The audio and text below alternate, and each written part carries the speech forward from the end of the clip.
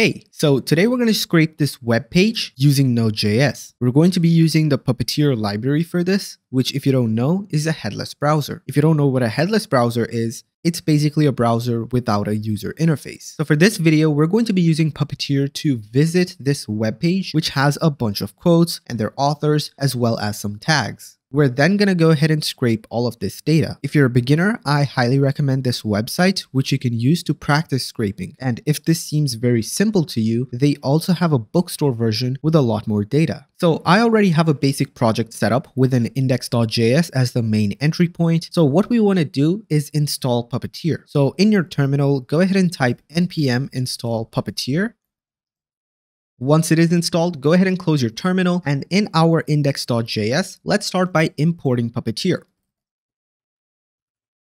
Now, right after you import Puppeteer, we need to create an IIFE. An IIFE is an immediately invoked function expression, and the reason why we need this is because we're going to be using await. And for that to work, we need to have an asynchronous function, which is going to be this IIFE right here. So any code inside this IIFE can use await and will not have any problems. So what we can do is we can go ahead and launch Puppeteer as a browser. So we can create a variable called browser, and we're going to set this to await puppeteer.launch.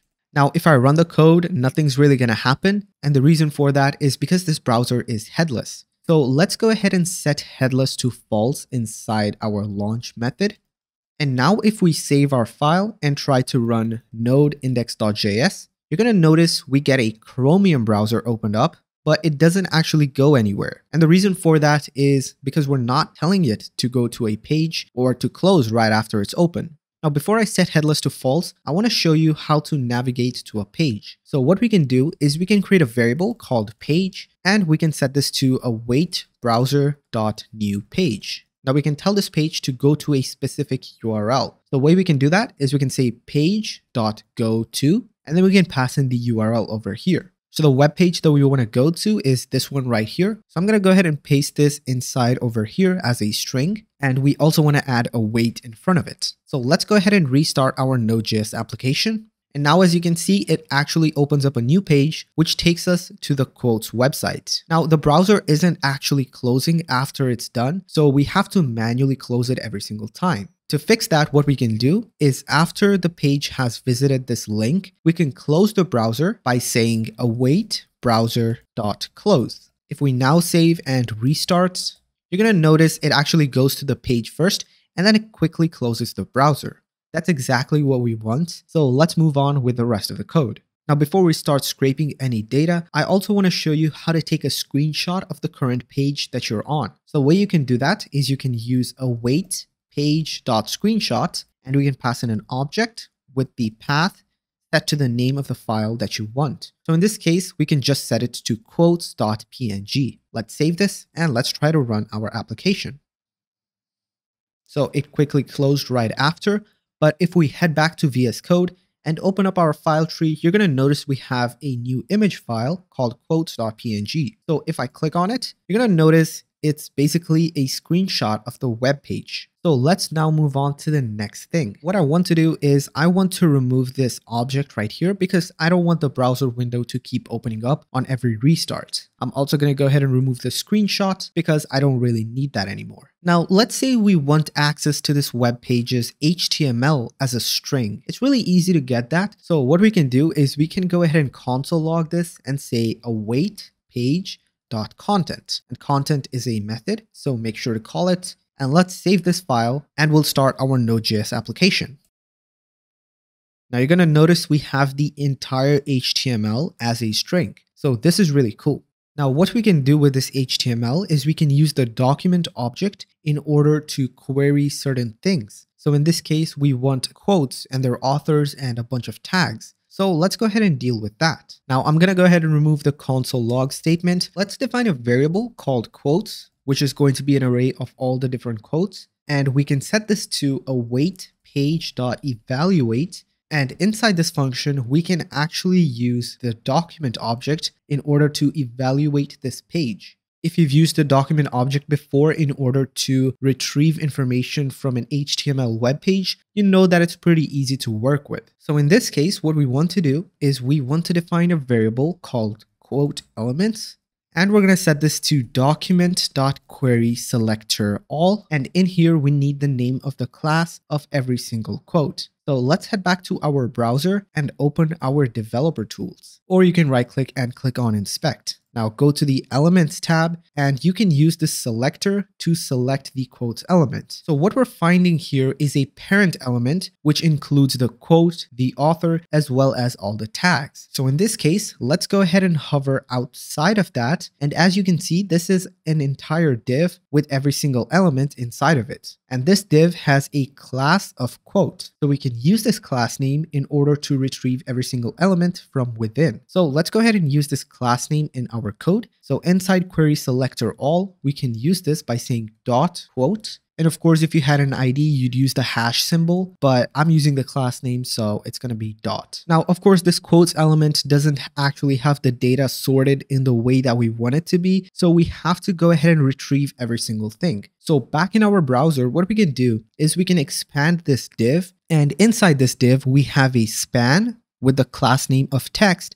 and if we expand this, you're going to see that this is the actual code itself. So we can use the text class from within the quotes elements in order to get the quote itself. So this is going to be really simple. First of all, let's go ahead and loop through all these quote elements. I'm going to say for const quote element of quote elements, and let's go ahead and define the quote text. This is going to be the string within the span with the class name of text. So in order to get this, we can use the quote element. So quote element dot query selector. And this time we're not using query selector all because we only want a single element from within this quote element. So if you remember the class name was text. Now this is an HTML element. It's not the string itself. So in order to get the string, we need to add dot inner text. And what I'm going to do outside of this loop is I'm going to create a variable called quotes array and set it to an empty array. Then inside of this loop, I'm going to push this text into this quotes array. So I'm going to say quotes array dot push and I'm going to pass in the quote text. Finally, we can go ahead and return this quotes array. And right outside of this function, we can go ahead and console log quotes and see what we get. So I can say console log quotes, save the file, and start our Node.js application. You're now going to notice that we have an array of strings with all the quotes that we're looking for. So that's awesome. But we also want the author as well as all the different tags. So let's start with the author. Let's use the selector once again and see what the class name is. In this case, you can see the class name is author, so this is going to be really simple. Now the author element is actually within the quote parent element, so we can use the same method as we did with the quote text. So back in our code, we can go ahead and close our terminal. And right next to quote text, what I'm going to do is I'm going to create a variable called quote author, or actually I can just call this author and set this to quote element dot query selector. And once again, because it's one single author, we're using query selector and not query selector all. And the class name is author, of course. And to get the text within that HTML tag, we can use .inner text. Now, instead of just pushing quote text, what we can do is we can push the quote itself, which is going to be quote text. And we can also go ahead and pass in the author property. So we can say author and save our file. Let's now start our application once again and see what we get. So now we have an array of objects. Each object has two properties. One is the quote itself and the next is the author. So all of this seems to be working just fine. Now let's go ahead and deal with the tags. Let's go back to our browser and see what class name it uses. So we can use the selector once again and let's go ahead and hover over one of these tags. So as you can see inside the quote parent element, I can close down the text and the author. You can see we have a div with the class name of tags. And inside this div, we have a bunch of anchor tags, which are links. And these links have a class name of tag. So we can use tags and this tag class name in order to get each one of these texts. So what we can do here is we can use both of these selectors right here. So we're going to first target tags and each one of the tag inside of it. So back in our code, I'm going to create a variable called tag elements And this is going to be very similar to quote elements. So we can set this to quote element, which is the parent element itself. And we can use query selector all because there's multiple tags. And in here, we can use the tags class, which if you remember is the parents div. And we can go ahead and use the tag itself. So let's go ahead and put dot tag. Now I'm going to define a variable just like I did with quotes array. And this is going to be tags array. I'm going to set this to an empty array by default because we want to loop through each one of these elements. So I'm going to say for const tag element of tag elements. And inside what we can do is we can go ahead and get the tag text or tag label. And this is going to be tag element dot inner text.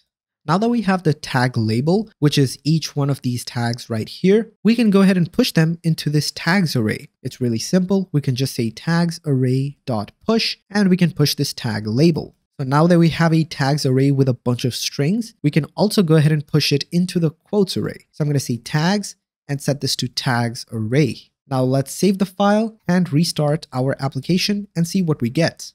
So we got a bunch of stuff. Let's go ahead and expand our terminal. And as you can see, we have an array of objects. Each one of these objects have the quote, author, and tags properties, and all of them work just how we expect them to work. Now, of course, from here, you can take this data and most likely push it to a database somewhere. But in this video, I just wanted to get you started with web scraping. And if you want to practice a little more, I highly recommend this bookstore, which has a lot more data that you can use. So that's about it for me. Thanks for watching. I'll see you in the next one.